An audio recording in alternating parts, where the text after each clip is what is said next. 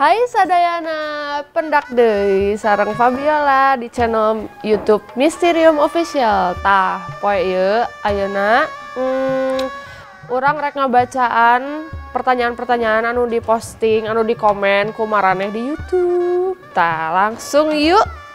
Nah, domba galak bisa di, jadi cicing di usapan ku bule. Kumaha atunya? Kita mah CS, guys. Tuh. Soalnya domba ge apal aku teh pecinta iya pecinta binatang. Tuh ngabujuran wae ku naon sih? Hei ulah ngabujuran. Ka dia hulu tah gitu. Tuh ih bager si albino mah tuh. Soalnya binatang teh biasanya apalnya nu mana nu resep ke binatang gitu. Jadi apal jadi bager gitu kan. Jadi kudu mun hayang di bageran ku domba kudu iya kudu resep ke binatang hela gitu. Kalau neng Fabi punya domba nggak di Jerman? Tegaduh atau kumahanya. Sok atuh nu nu hayang hayang nu merek gitunya mere domba. Sok bisa bisa diatur bisa diobrolkan ya. Kirim-kirim lah ke Jerman gitu kan kasihan aku teh nggak punya domba. Aku di Jerman punyanya Chihuahua. Anu lalu tik teh gening Chihuahua tikap anu sok diabuskan ke gelas. Teh pernah ke lapang domba teh acan pernah dong. Kamari kamari kare kalapang terus nyobian jogetnya meni rame. Pas aku jogetnya meni lobanu lobanu miluan gitu. Meni rame lah pokoknya. Tapi orang tuh bisa joget kumaha atunya baiklah oh bahasa Inggris nu ya mah ketang How much price for Garut sheep? Well, actually for Garut sheep, it's depending on the size and the age of the sheep itself. Like, for example, for baby sheep or lamb, it costs around 2 million rupiahs. And for big ones like this, um, it costs probably 10 millions yeah probably 10 million rupiahs so yeah it's depending on the size and the age teh ti iraha bisa bahasa Sunda meni saya pisan bahasa Sundana. Saya ti mana? Orang maliur ngomong bahasa Sunda teh kudu mikir heula. Teteh ulah uih ka Jerman mending teteh di Bandung gue yang ada mal konten domba. Da orang emang tinggal di Bandung itu sih orang tinggalnya di Bali. Uh, karek pindah ke Bali tahun lalu ngan merennya meren tahun depan rek pindah dari ke Bandung kalau masalah ngonten mengonten domba-dombaan bisa diatur, bisa hubungin aja aku gitu kan. Jadi resep sih orang sebenarnya resep ngonten-ngonten binatang, hewan gitu-gitu tuh resep. Jadi hubungi hubungi aku aja kalau ada yang butuh konten mengonten ya. Bisa itu mah bisa diatur. Kita ameng lah ke kandang manehnya. Fabiola iya mah nubasan nuntun aduh kayak Fabiola Yuma nubasa nuntun domba pas di lapang kontes Cikawatinya. Ih bener meni merhatikan wae kamu teh. Nya kamari orang nyobaan nuntun domba ke dalam lapang gening. Rame sebenarnya e, pengalaman itu buat aku pengalaman pertama. Soalnya ya belum pernah kayak biasanya biasanya ka domba teh ningali hungkul nonton hungkul gitu. Nggak pernah nuntun sampai ke dalam gitu-gitu. Ya seru sih pengen lagi sebenarnya. Nanti ya kita bikin konten lagi eh, di lapang lainnya ulah lapang Cikawati Hungkulnya.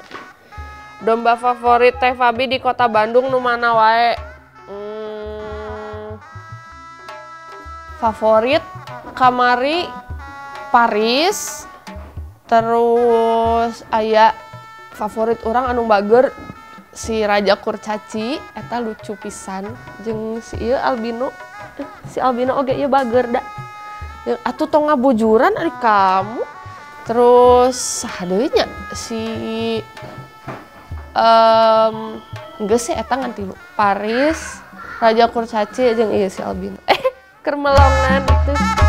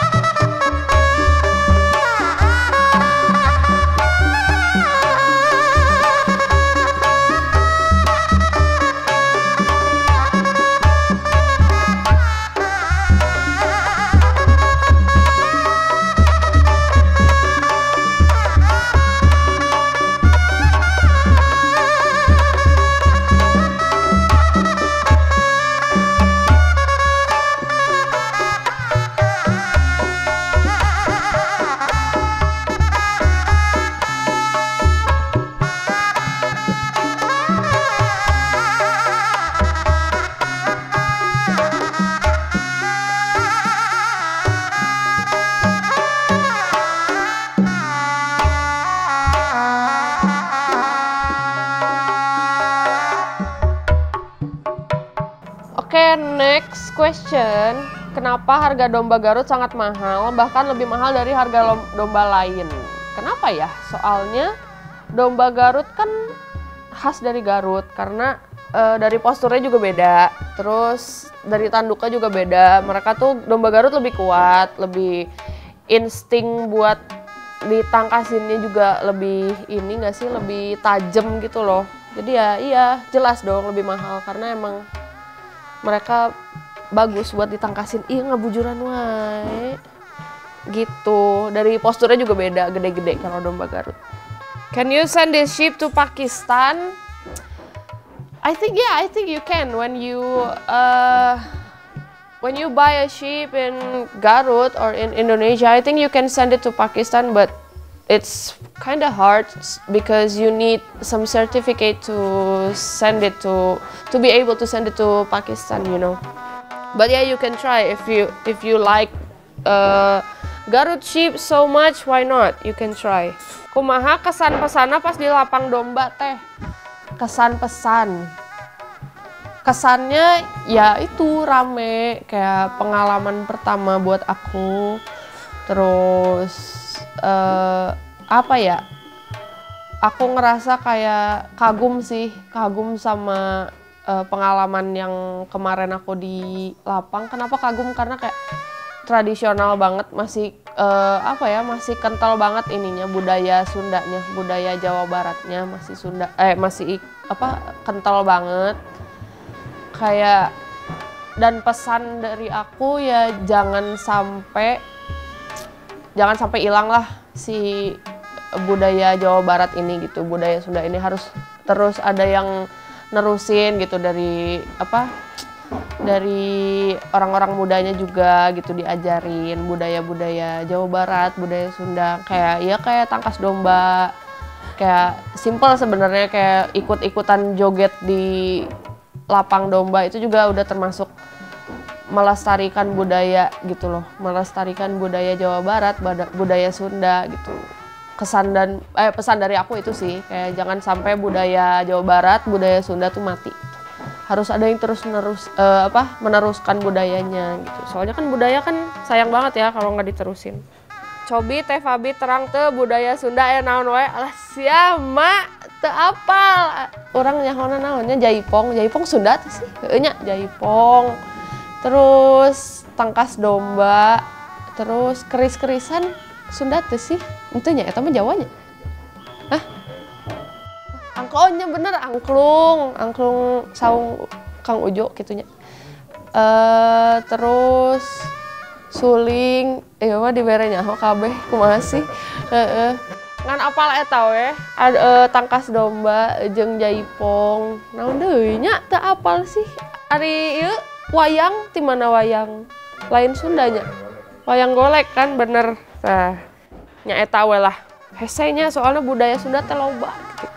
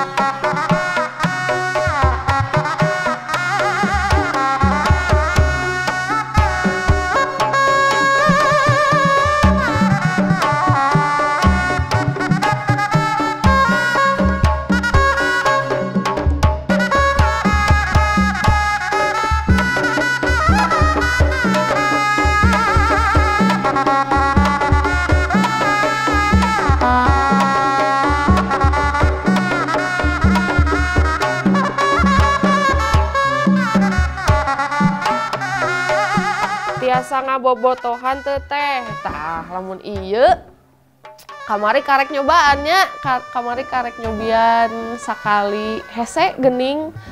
Geus mah disuruduknya tapi tenyeri sih jadi suruduknya suruduk manja gitu hungkul gitu teh suruduk emosi gitu nya.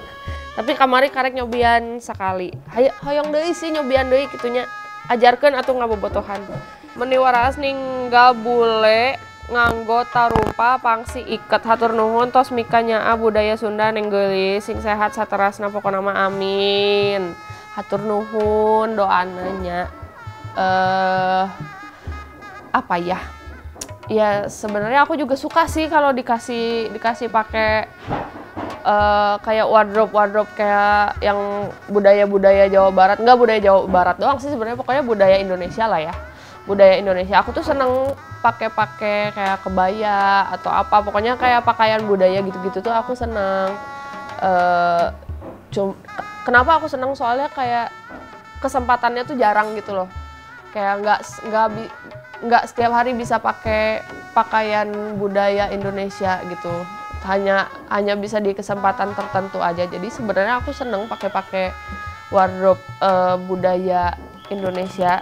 Soalnya mungkin karena aku mungkin karena aku bule karena aku orang asing jadi aku kalau kalau pakai pakaian adat atau pakaian budaya Indonesia tuh kayak orang menilainya tuh lebih ini gitu loh lebih apa ya namanya lebih nyentrik gitu. Ya kayak lebih nyentrik kayak lebih mencolok. Mungkin karena aku orang asing juga gitu.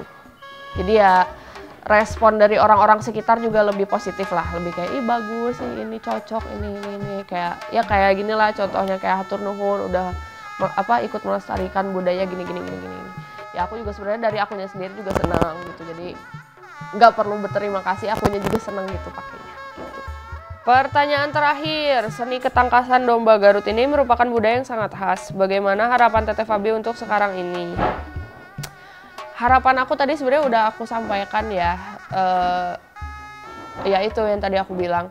Jangan sampai budaya Jawa Barat nggak cuma Jawa Barat sih sebenarnya jangan sampai budaya Indonesia tuh mati. Harus ada yang terus uh, nerusin ke depannya gitu. Pokoknya jangan sampai mati jangan sampai not even mati jangan sampai kayak hampir nggak ada gitu loh.